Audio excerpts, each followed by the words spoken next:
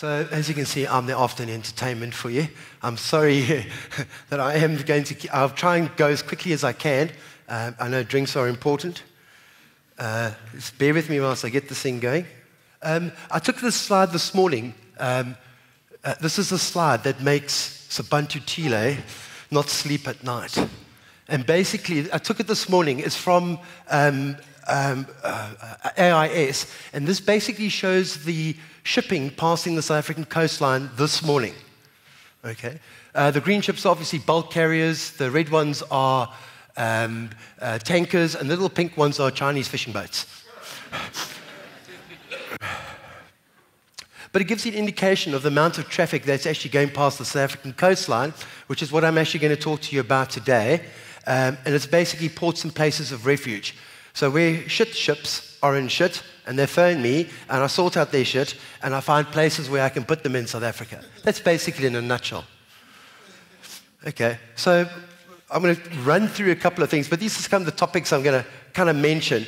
Uh, the geographical area of South Africa, the weather we suffer, possible places where I put shit ships, uh, the ports of South Africa, the legislation that governs my life, um, the South African Maritime Safety Authority, um, our ports, um, the requirements from SAMSA and our ports in order to let me bring these ships in, what resources we actually have available, uh, where we're losing those resources, um, and I thought, well, I'll throw in some lovely pictures for you at the end. Um, there are a, a, number of places where we can put uh, ships in South Africa, and a lot of these incidents that uh, uh, sort of arise arise out of some particular problem which occurred actually on board the ship or by an event that happened whilst the ship was at sea. And um, insurers call those perils. I call that money. Um, and then, of course, these perils, one of them can just happen on its own. Uh, preferably, we like them all happening at the same time, uh, usually right after each other. Um, and then, of course, all the lawyers rub their hands together. And then I don't get one phone call, I get 12 phone calls saying, please instruct me, please instruct me. Um, so, what is the likelihood of, of these things taking place? Um, yes, they happen regularly. And if you don't like what we do, you're actually in the wrong industry. Because I always say to myself, I have the dream job. I work in an amazing industry, and I not only have I been able to see the world, but I've actually seen parts of South Africa I didn't even know existed. Um, so let's just go through about a few marine casualties here. Um, this was a ship called the BBC China. Uh, not so long ago, her sister ship also ran into trouble. Believe it or not, it was the BBC Shanghai. Uh, I got a phone call from a reporter down in East London saying we have more nuclear material arriving on our beach. Uh, I've got this great chap down in Cape Town called JP Arabonis. And before SAMSA got excited, I said, JP, please do a drift report for me. And he did that, and he said, Michael, in 48 hours, you're in business. and then I told Darren Burgess at SAMSA, he said, I'm getting you a tug.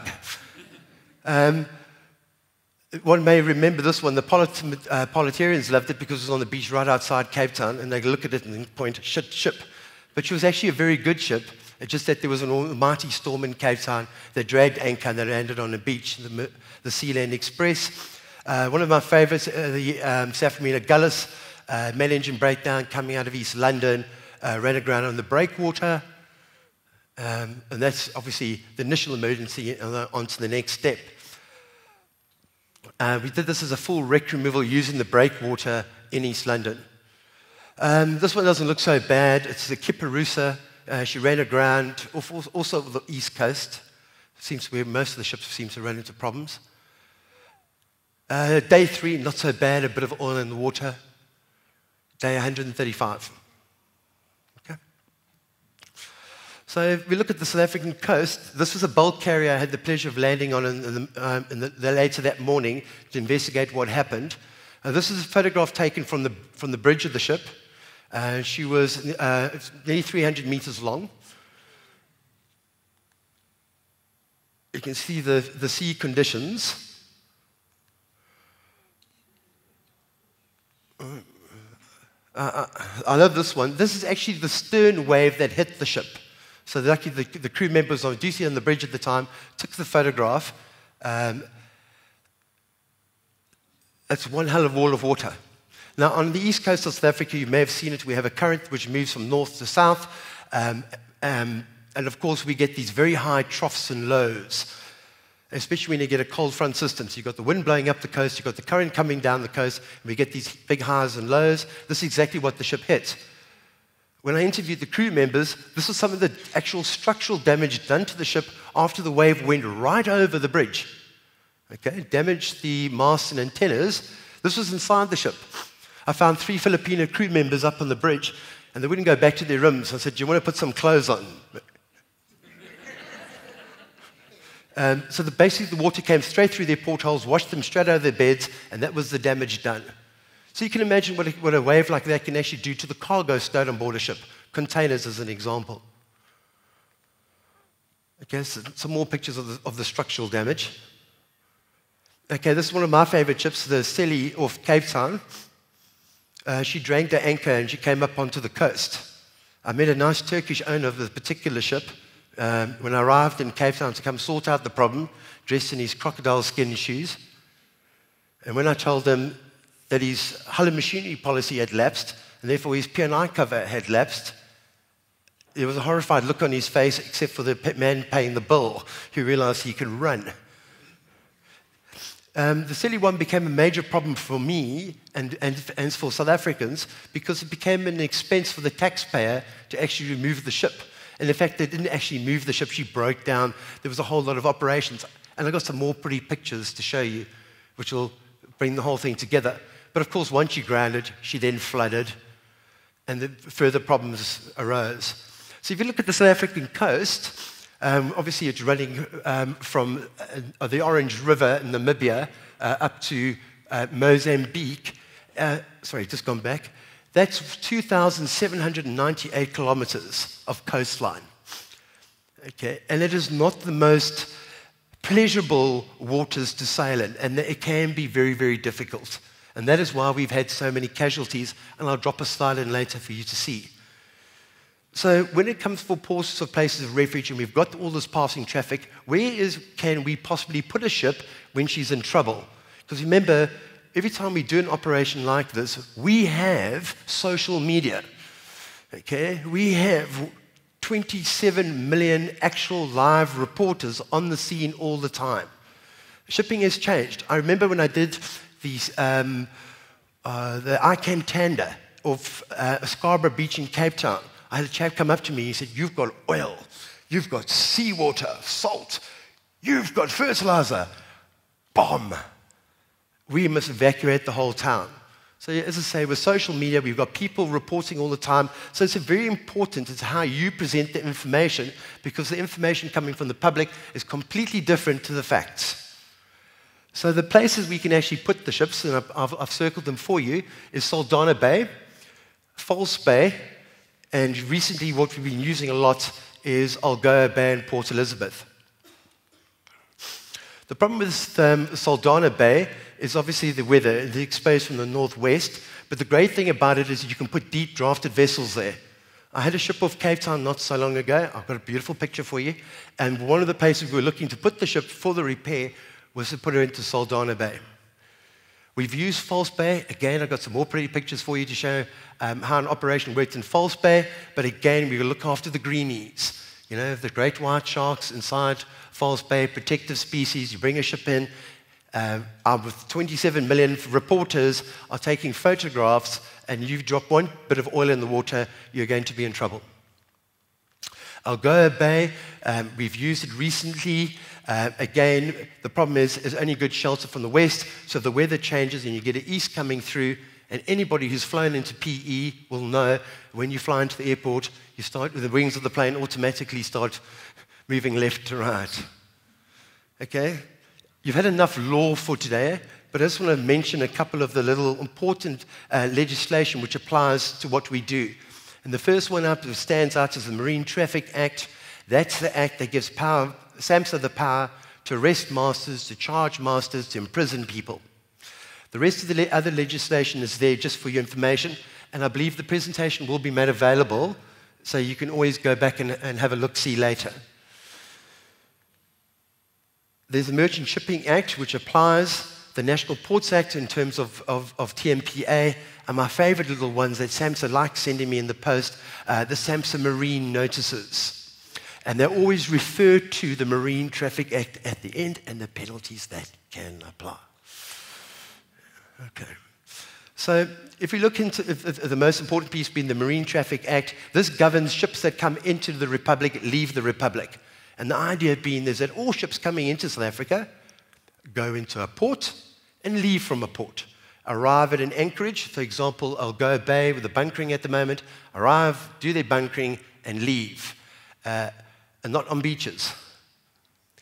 Okay, so basically the access out where ships are meant to go to harbors, and they're often referred to fishing um, villages, um, because it's all included in the, in, in, in the legislation.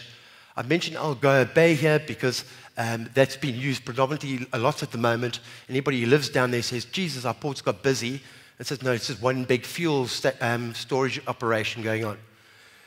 Um, nobody can do anything in this country, as you know, without permission, and the permission in terms of South African law um, comes from the minister. Here we're referring to the Minister of Transport, but generally we'll de- we deal with uh, Sobantu and, and SAMSA. They are our conduit in terms of the Ministry of Transport. Um, the point, uh, point I, put in yellow there is that no person within the territorial waters or internal waters uh, may immobilize or lay up a ship outside a harbor or fishing harbor. So when, for example, the K-Line ship comes to Durban, she arrives and she anchors at the anchorage, that's perfectly legal. Uh, that's what she's expected to do. It's when she, for example, is heading down the coast, and I, will leave K-Line out the way and we'll focus on somebody else, uh, a big Chinese operation, and I had a frantic phone call from a friend of mine who lives down uh, uh um, uh, in Port Alfred. He said, We've been invaded by the Chinese. Well, what do you mean? He said, No, no, there's a landing craft. They are coming. Uh, okay, obviously you live in the Eastern Cape, and I don't want to inquire about your life in the Eastern Cape and what you may or may not be smoking. But basically, what happened was they decided to immobilize their ship, and in order to do what they wanted to do, they had to launch all these uh, barges which were being transported to Europe. And he was convinced uh, uh, they are coming. Okay, so you can't do that. And I had to get hold of the owners and say, excuse me, you can't just mobilize your ship in, in our waters. There are rules in place that you need to follow in order to get past the Bantu. So, again, I'm just highlighting all the, the important yellow bits here. This is what SAMSA can do if you're going to mobilize the ship. Um, they do call me and say, Michael, we will require security from you. Uh, so I'm, I'm, glad we've gone past the stage of how much security we're going to get from you. Uh, SAMSA weigh up the risks now, and they've got a great team. Um, and they can tell you, okay, Michael, listen, this is the risk of this going wrong. She may end up on this beach. It's, in a, close to Marine Protected Agency. We want X amount of money from you. And all P&I clubs uh, are quite happy um, to put up security in respect of a potential claim.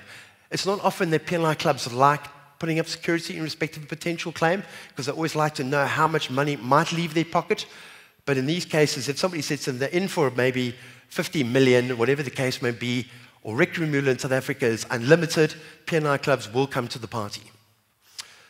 Okay, let's get past all this horrible law. Okay, again, simple rules what ship owners are not allowed to do. You can't just simply drop anchor, do things without um, permission. You can't switch off your main engines, as what happened on the Seli 1. They didn't tell anybody that their main engines had broken down. And of course, when the weather changed, she dragged anchor. They couldn't start their engines, and she ended up on the beach. And again, if you do something wrong under the Act, you will be arrested. So, what is SAMSA? Everybody knows it's South African Maritime Safety Authority. Uh, you, their mission statement is obviously looking after maritime safety, health uh, of seafarers, and of course, environmental protection. So, they implement and develop our marine environmental protection standards and our safety policies. Um, they also provide technical and operational standards for shipping in South Africa. Uh, they carry out port state inspections on ships, but obviously look after the South African fleet, which hopefully Sobantu is starting to grow slowly. Okay, then also looking at seafarers, they look at standards, so we have the right crew members operating ships, all right? Um, and that's important. I've been on board ships and I look at the crew and I think, how the hell did you get the ship here? And then one day you made a left turn and she's on the beach. I remember speaking to one, one, one duty officer and I said to him, um, sorry, when the lighthouse was on your left-hand side, yes? Uh, the port side? Four letters port, four letters left. It was on your left hand. Yeah, yeah, yeah, it was there. So when it appeared on your right hand side, you know, the starboard side, you didn't think the bow had changed direction? No, no. And then he was perpendicular to the beach. Okay, so what is the role of, Sa- of SAMSA? Of course, that's to respond to marine pollution incidents as they happen, uh, and of course, marine emergencies. They also operate MRCC, I'm sure many of you, you may have heard of the phrase MRCC. It's the Maritime Rescue Coordination Center in Cape Town. Um, ships always relay messages to them if there's a problem on board a ship. A crew member may be injured, for example. They contact MR, MRCC and arrangements can be made to get seafarer off the ship or if there's a problem to fix it. Okay.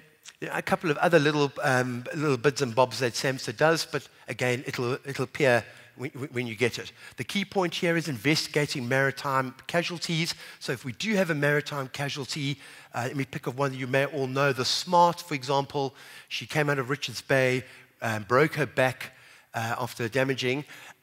SAMSA will carry out an investigation into the incident and how it happened. Okay, so SAMSA also have the authority um, to prevent vessels coming towards the coast um, seeking refuge. Um, notwithstanding this, our ports in South Africa are controlled by um, Transnet, uh, the National Ports Authority, and in South Africa, we do not have a character called SOSREP. Uh, SOSREP is an English um, position created by the uh, British government to respond to marine emergencies, and basically it's an acronym for the Secretary of State's Special Representative. And that's a topic we can talk about over a drink when you've looked at all the pictures. Okay. And then you get things I mentioned to you, marine notice. These are the little things that SAMSA send out by email. You may not pick them up, but they just kind of appear, and you may gloss over them. Uh, unfortunately, in my life, I never gloss over one thing Sobantu sends me. I look at them closely. I even give them little names when I receive it. I call this one the Darren Burgess marine notice. And basically, how this little notice came about, I suspect after some of my ships misbehaved recently, and um, the notice says it's the ships that are on innocent passages. Now, what's an innocent passage? That's a ship, say, coming from South America. Um, she's off to um, China or she's going to Europe and she's coming through our waters. She's innocently going about her affairs. No problem. But if something happens aboard the ship which makes the ship no longer seaworthy, okay, so a big wave comes along, does damage, okay, that automatically says the ship is now no longer seaworthy, it must be reported to SAMSA. Or where the ship develops a small little crack, you know, I call a small little crack, yeah? Yeah, small little crack in my life, it's a buntu, it's, it's a crack. Um, this must be reported to SAMSA immediately, and it goes to MRCC. So basically, I like this word, I picked it up this week, whistleblowers, because that's what we've become. So P&I correspondents, lawyers, uh, marine brokers, any ship repairers, insurers, and the owners themselves, of course, if we hear about a problem on board a ship, we've got to tell MRCC. So if a client phones me and says to me, Mike, usually it's Greek, hey Mike, I've got a problem. and I go like, okay, how bad's the problem and how can I fix it? Oh, it's always a little problem with Greeks. Huh? It's always a little problem. Uh, the first thing I'm going to say to them, don't tell me the name of the ship. I don't want to know. Because I then have to report to SAMSA about the particular problem. And of course, as I said to you, we've got 27 million um, roving private reporters in South Africa at the moment. And I had a ship come off Cape Town called the Stella Unicorn. Her sister ship, the Stella Daisy, had unfortunately um, sunk. Uh, 23, um, 21 crew members had lost their lives. And, you, and of course, uh, it was major news. You know, these ships were all running into problems. They were all cracking. They were all sinking. And of course, somebody had heard one was passing Cape Town, therefore there was a problem. So before I could get all the information, I'm going to talk to you about it now. Here she comes up. Um, the Stella Unicorn, I had to try and gather information so I can present it, which I'm going to show you. Um, 27 million reporters had already reported, and Sam's already on the phone. Michael, why haven't you told me about this ship yet? Okay, so we're basically what we've become. We've become whistleblowers, and we must report this through to SAMSA. And, and SAMSA, in fairness, were right. You know, I, I call this the Darren Burgess little notice, but he was right. Is that there's an obligation on ship owners, if there's a problem, come clean. Tell SAMSA that there's a problem, phone me, tell me the problem. I can phone SAMSA immediately, say, I have a ship, she has a kind of a problem, I'm getting information. They will take a little step back, won't be a large step, a little step back, and then I can provide them what they need, what they need to know. The Equator Peace was a ship um, which had a bit of a problem. They didn't tell me about the problem. When the guy phoned me, I said, and I was in Mozambique at the time, I said to him, Where's the crack? And he said to me, How do you know there's a crack? Well, I said, Well, she's a Capesize and she's X number of years old. There'll be a crack, and it's probably between three or four, or four and five. He says, Yeah, you're right. It's uh, three, and, three and four. Okay. And is she fully laden? Yes, fully laden iron ore. Okay. Loaded South America? Yes. Going to China? Yeah. When I went inside the hold, she had 27 little holes on the side of the ship, peeing in water.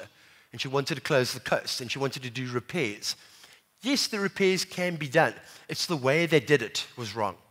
So instead of coming forth and saying, we have a problem, this is the nature of the problem, not that we have a little crack or we might have um, um, a, cargo problem. It was the problem was actually big, but, it, it, but the problem could be fixed. And what happened? That particular ship actually went to Maputo. She was anchored in Maputo for about two months, carrying out repairs. All right. So I'm just saying is that the approach was wrong, which is why I understand that they brought out the marine notice. Okay, we, you all know this. We have eight ports in South Africa.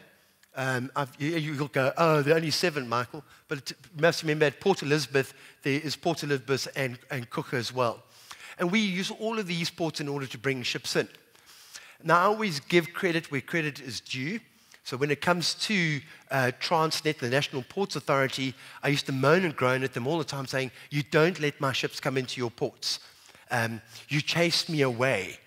Um, and lately, I can on, hand on heart say, as much as I'm an advocate of SOSREP, Transnet have been absolutely fantastic with me. We have brought ships into Cape Town, Richards Bay, and Coega. Uh, we did the APL Austria recently. You may have read about her. A big container ship, massive fire on board. Um, so, hand on heart, um, TNPA have been really good to me. But as you know, they're owned by the South African government, and of course, they're a business. Um, and their business is just to make money into, into our, um, keeping our, our economy moving. Um, of course, I've mentioned the ports, you've seen them. I'm speeding up because I know, yeah, and you want to see, and you want to see pretty pictures. Um, so of course, Transnet control and manage all our ports. That goes without saying. Make sure the ports are safe, provide good security, etc., etc.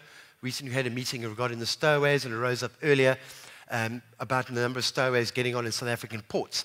But I always say the stowaways start at the border, then starts at the port, and then comes to the ship. I always tell ship owners the other way around. We're responsible for our ships. Okay, game, so the National, um, National Ports Act deals with ports, how the ports are governed in terms of legislation, who's responsible for controlling the ports, the anchorages, etc. I often get a phone call from Justin Adams saying, Michael, one of your ships has left another anchor at the anchorage. That's Justin's job to make sure that anything that's left behind, uh, PIL, uh, anything that's left behind, we try and recover. Okay, not, it's not very easy. Sometimes for example, if a ship's in 50 meters of water, you can't send a, a, a, diver down 50 meters of water to look for something in the mud. It just doesn't work. But we make a very good effort to recover them. Okay, so let's deal with the requirements of a refuge. I will speak quickly. Okay, so before a ship can come into our waters, our office, we get in touch with SAMSA and we have to get their approval first. Um, and we tell SAMSA roughly where we would aim to take the ship. So recently we had the Antaeus, she had a main engine room fire. The plan being is put out the fire, uh, tell SAMSA, this is what's happened. We're going to bring the ship closer to the coastline. And once she's inside the port or when she's outside, we remove all the black oils and then I go and speak to the, the port captain in Cape Town and ask for permission to bring the ship into port. And he'll say, Yes, Michael, that's fine, because that's where they've been lately. How long are you going to keep her here for? And of course, then we need to get her on her way as soon as possible thereafter. Um, so when it comes to all of these things, the first thing SAMSA says, Michael, don't worry about the object. Let's start with the most important thing, and of course, and that's saving human life. So that's the start point. The first thing we do is we save human life. If there's been a fire or the ship is maybe sinking, we remove the non-essential crew members immediately from the ship. So if we have to save anybody, the less souls we have to save, the better. Okay, and all of that is done through MRCC in Cape Town. Okay, the next question, of course, is the environment, is the black oils. Um, on the Kiani for example, um, the ship, uh, there was a major storm, the ship lost power, and she came on to a beach near um, uh, uh, close to the uh, Goukamma River. Is that how you pronounce it, Goukamma? But she's in the middle of a marine protected area. In South Africa, we have a number of marine protected areas. And ships like going, when they've been naughty and something goes wrong, they always pick a nice place to go.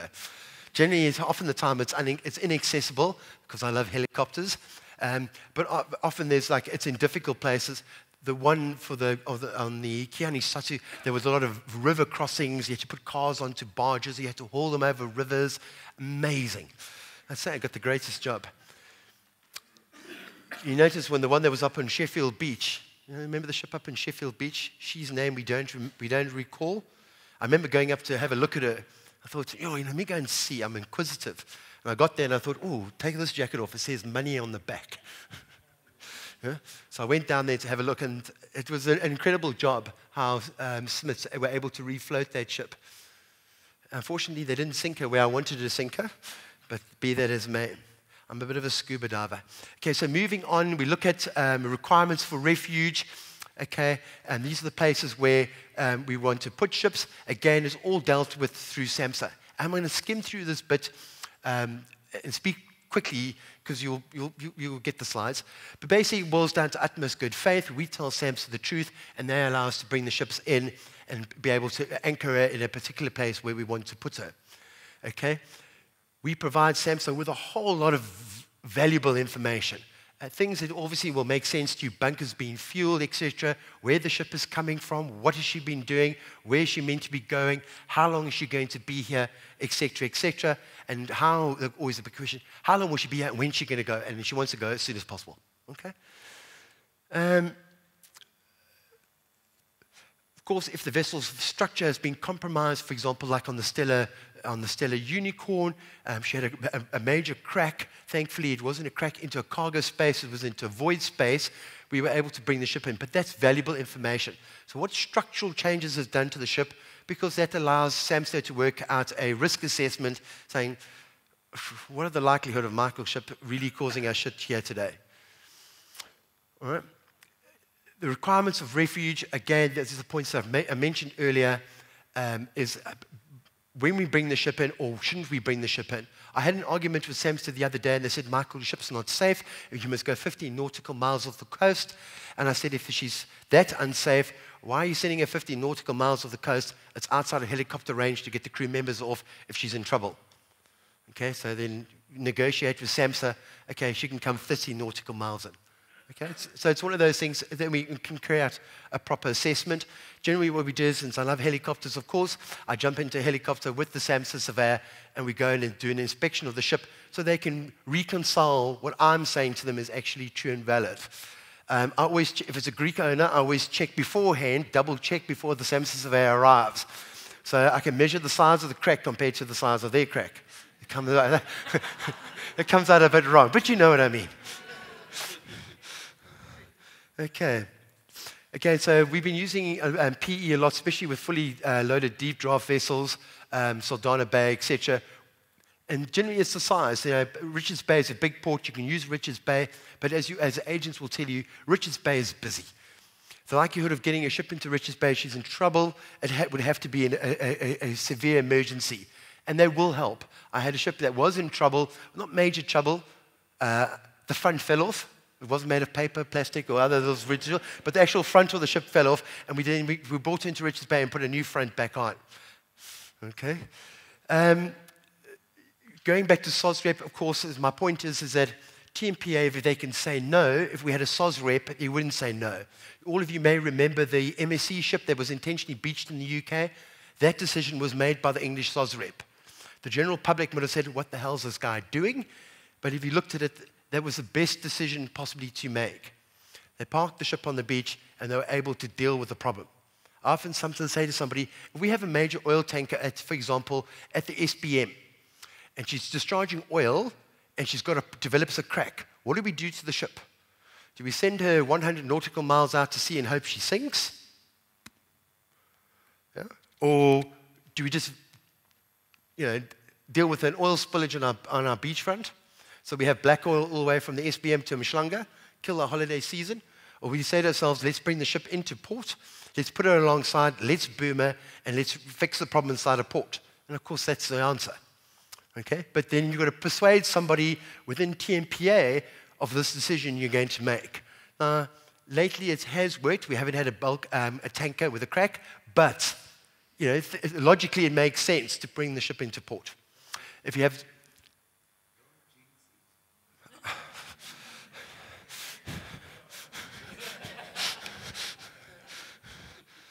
Okay, it's been a very quiet winter, as you can see. My ribs are showing, Sobantu. Okay, so let's, let's, let's try and get to the, get to the pictures. Um, we've used False Bay on a, on a number of occasions. We've had a, big, a nice ship there called the Cape African, and we'll, and we'll, we'll get onto it. There's a picture of the, of, of, of the ship. Um, she suffered a major um, structural damage. Um, you can't see it in that picture, but I will show you. Um, that was the hull. Okay? So what we did was the ship couldn't continue her voyage in that, um, in that condition. So we did was we brought her into False Bay. She lost the cargo, obviously, from that particular hold. This is after we started, we started a launching operation. So we brought another ship inside. She had offset cranes. So it's obviously cranes on one side of the ship that could reach over to the ship, take the cargo from the ship we were removing the cargo from, put her into the new ship, and we ran an operation around with two ships in order to lighten her. Okay?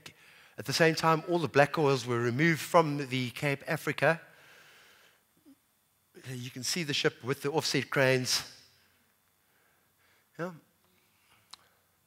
Perfectly safe, nothing went wrong. Um, and the operation at the end of the day was a great success. So this is South Africans, actually, what I always like to say in terms of Operation Phakisa, this is one of the working groups, exploits our blue economy. This is South Africans doing what we can do. And I'm very proud of it, that we have the skills and, and, the, and the ability of people in this country to do things. So when they chase my ships away, like up to Maputo, I get cross and I have to write about it in, in, in Maritime Review without mentioning any names. Don't chase them away. This is employment for South African companies, South African ship repairers, South African agents, launch companies, everything else. Assess the risk. Can it be done? We have the skills in this country. Yeah? We have this incredible coastline. We have these opportunities. We must exploit them. And something I, I, I, when I get a chance, I, it's my bit of my soapbox thing. But there was a tug, so she's on permanent standby in case something was to go wrong. All right? Okay, so you can look at the worst case scenarios of things that could go wrong, but these are the things we do so it doesn't go wrong. And again, I've mentioned to you, we remove the, um, the, uh, the black oils from the ship. We have a salvage tug uh, available on standby. In that particular case, it was the Smit Amandla. Um, we have an operational plan which SAMSA approve. They have a guarantee in place, and we report to them on a daily basis as to how the operation is progressing. Okay, both SAMSA and TNPA like my letters from my clients, and they accept them, and we have a standard worded letter which we use. Um, in South Africa, we use the 57 convention. Does anybody know about limitation conventions and things? Basically, in South Africa, we've got that one. We use the SDR protocol and we move on. The most important thing is uh, you cannot limit wreck removal in South Africa at the moment. And I'm not quite sure where we are with the Nairobi Convention, but the MLA is coming up soon and the information will be I'm sure Shepstone and Wylie will send you an update of where they're going. So if you look at our available resources, Um, we've got, at the moment, we are the first country to have ETVs, emergency towing vessels. We have a contract in Cape Town. The Smith & Model is based in Cape Town, um, and she operates along our coastline. Our system was so good, believe it or not. Uh, we've developed amazing things in the salvage industry in South Africa. ETVs, we're the first country to have them. Other countries followed us. Uh, Dyneema towing wire was made in South Africa. Um, you all know what Dyneema towing wire is. It's towing wire for a tug and a ship. It floats on the water. You can run it through the surf. An incredible, an incredible product. Um, the other thing which we developed uh, was the Dyneema cutting wire. Um, I don't know, some of you, if you go search on the internet, you Google, uh, I think it was called the Tricolour. Uh, it was a car carrier in English channel, and there's a video if you can actually see the diamond cutting wire, cutting the ship into actual sections and removing each section from the bottom of the seabed. Okay, and that wire was developed in South Africa by South Africans. Um, you, obviously, we've now got other salvage companies in the market. We've got Resolve, they're based down in Port Elizabeth, uh, Arden Subtech based here in, in, in Durban. So we have the skills and we have the resources to be able to deal with things. We have incredible warehouses in Durban, um, um, pollution companies like Dryers and Spiltech have got great equipment. Um, we have fenders that we need. We are all geared, geared up to deal with this particular operation, so we mustn't send them away to Sobantu. We must keep them here. So each port also has a range of harbor tugs. Um, um, uh, my friends from PL will look away quickly. Um, this poor ship was the Sea Elegance. Um, she was loaded with a, a, um, a cargo on board. Uh, of the Rugby World Cup. Uh, explosion took place on board the ship. TNPA obviously were able to send their tugs out to assist and, and, and help uh, control the fire. Okay, available resources, tugs in Cape Town for the Sea Land Express. Okay, helicopters. Um, they were practicing recently. Anybody who was down on the beach end last weekend would have seen the, the South African Defence Force helicopter working with the National Sea Rescue Institute. They were doing training exercises of crew members overboard, rescuing crew members, etc. Um, unfortunately, we're limited on the number of um, commercial helicopters available. Um, um when I went out on the Stellar Unicorn, we went 70 nautical miles out to sea in an incredible helicopter what I liked about the helicopter, um, not the, the price was good, but at the back of the helicopter, they had two emergency doors where you could load four stretchers. I wrote an article not so long ago after the helicopter situation um, uh, ran into a bit of problems. But I thought if we had a fire on board a ship and you've got um, to, to remove crew members who have been badly burnt, maybe somebody's got 80% bad burns or 40, whatever the case may be, is loss of life really acceptable? you know, as a country like our own, when we have so much coastline, can we accept that? And the answer, of course, is not. So, um, as I say, these guys are open operation down in Cape Town. When I wanted to go out of Port Elizabeth, they were happy to bring the helicopter up to PE for me and to be able to go out to the ship. And as I say, the great thing, it's got these beautiful four do- the doors at the back. You could put, load four patients on board. And that's what I saw as a huge positive. Okay, moving on quickly, time. Okay, just look, quickly looking at the Seli 1. I've told you the circumstances of the Seli 1. Um, she was entered in a well-known Russian P&I club called the Russian P&I Pool. Uh, they no longer exist. Um, this was the man in his, in his um, uh, crocodile shoes. Um, she wasn't entered in an international group club. Uh, when I talk about international group of P&I clubs, we're talking about the major P&I clubs. They've been around for 150 years plus. These are the kind of people, if a ship had to hit the beach and the ship owner's H&M policy had lapsed, they would not walk away. They look at the bigger picture. And the bigger picture is they have 1,000 ships or members within their particular club. If, if they turn their nose up at this member, what is the South African government going to say when one of their next memberships coming along, blue chip member? Yeah? So they look at the bigger picture, and the bigger picture is we, the ship would have been removed as a IG group expense. But unfortunately, with the Seli 1, um, she was left to ourselves as taxpayers. And that's what we need to avoid. And, the, and, and this is what we, you know, you always learn valuable lessons in life as you go along. Um, if, you may, if you do something and you do the same thing over and over again and expect a different result, you're stupid. But if you, if, if, you, if you change your philosophy as you go along, you're obviously going to get to the right result.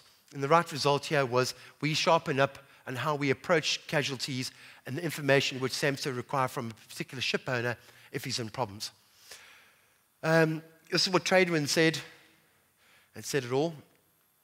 And of course, what happened on the Seli 1, as she was sitting there, eventually a fire broke out on board the ship, etc. And it got a bit messy. The point I want to make here is that we had to quickly go and sort this out in terms of the approach of the South African government and how they deal with P&I insurance. So we made the necessary changes in that we can now deal with um, uh, with P&I clubs and the government rather than dealing with fixed premiums. And there are some very good fixed premium insurers out there. Um, British uh, Marine have been a firm, uh, firm client of Shepstone Wylie for many, many years. They've never ever reneged on a bill or, or, or a, a, a, problem. Um, is a good example. Um, okay, this is the picture I was going to show you about. Um, hopefully they come in. I'll be very quick. Um, this, this is only up until 2012, and I haven't updated it. But these are all the collision, um, these are casualties. These are ships that have grounded or sunk on the South African coastline in, in that period of time. Yeah? Okay. That doesn't include my, my, the Kiani Satu. I haven't had time to update her. Uh, she's the one who came aground uh, on the, uh, at, in the Goukamma Nature Reserve uh, in 2013. Great job. We actually refloated the ship. Unfortunately, it was an oil spill. We cleaned up the beaches to the DEA satisfaction, uh, and no oil was left behind. The smart, everyone remembers the smart. I'm not going to go into much uh, talk about the smart, subject of, of, of huge litigation. Okay? But people will know that she had 1,800 tons of fuel oil on board. I removed 1,800 tons of fuel oil without dropping one drop in the sea. Okay? Um, and as you know, she became a very expensive wreck removal, but the wreck was removed uh, to the satisfaction of SAMSA and signed off. Okay. Um, the, the Pippa um, Bottiglieri, um, she had hot coal. Uh, she was coming along our coastline. Um, hot coal on board, had a fire on board. Here's an example of Richards Bay accepting a ship as, as, as, a, as a, an, an emergency. Okay. Uh, in Ngqura, I've used the port recently. People may remember the Merciful Andrina. Again, a ship loaded uh, allegedly with calcium hypochlorite. The cargo was misdeclared. The cargo was stowed below deck. There was an almighty explosion on board the ship, and all the cargo on board the ship was destroyed in that particular cargo hold. Okay. Um, the Prague Express, again, off, I brought it into Coega. Again, she had a collapsed stow of containers on board, um, and we were able to bring it into port. Again, I seem to be using Ngqura a lot lately. Talani's been very good to me. Everyone will now remember that recently the APL Austria uh, fire and cargo hold number four. Again, all the cargo was destroyed. It was quite funny is that when you work, when, you, when you're part of the Bidvest group, they have a lot of um, people that are obviously worried about their directors and health and safety and everything else. And uh, uh, Yanni Roof gave me a call and he wanted to know whether his employees were fine. And um, I had the phone between my ear over here. And I, in order to, and I thought, let me put something down. So I put something in the back pocket. And actually, between my, between my leg, I had a, a fire hose. And one of the containers had flared up, and I was actually putting out the fire, going, "No, no, no, um, your stevedores are all fine. Uh, uh, nobody's in problem at the moment. Uh, and, uh, and you, well, let's hold on. Shh. I'll, I'll, put the fire out. I'm one of those guys, I can't sit around and watch people work. I've got to get stuck in and I've, I've, I've got to get involved. Okay, then I mentioned to you the Antaeus again, engine and fire on board a ship, uh, fire put out, black oils removed, brought into Cape Town. Uh, Stellar Unicorn. I've got a picture of her for you, but not of the crack, of course. Um, that seems so rude. Okay, biggest ship I've been on. Huh? Um, she was a converted um, ultra large crude oil carrier uh, made into a bulk carrier. Uh, unfortunately, her sister ship sank, um, which is why she came off Cape Town. Uh, nearly f- uh, 425 meters. Uh, when I landed on board the ship, um, she was rolling. And now, always when I land on board ships, I always I call it my exit strategy. Salvage masters who have dealt with me, and this particular one, it was, it was Richard Erasmus. And in Richard's, there's a, Mike, I know what you're thinking. What's the exit strategy? So I said, Well, your job is to go and report on the, on the damage to the ship. He says, In your job, I'm going to the bridge to have coffee with the master. I said, uh, I'll leave you to go down below. And off those surveyors went, and I went up to the bridge and I said, Captain, I'm going to turn your ship. And he said to me, uh, No, I've got a riding this way. The swell's coming, and I don't want to beam onto the ship. Captain, she's turning 180 degrees, whether you like it or not. Very slowly, I, I got onto the helm. I was like, What the bloody hell is this lawyer doing? Don't worry, I don't sink ships. not myself. Anyway, so I turned the ship around completely 180 degrees. So we had the swell coming from the stern. And straight away, now the ship wasn't rolling as she was the, the waves weren't pounding into where the potential crack was, and I knew the helicopter would be able to land safely now back on the deck to get me to Cape Town. You see? It's called an exit strategy. And I hope I entertained you enough.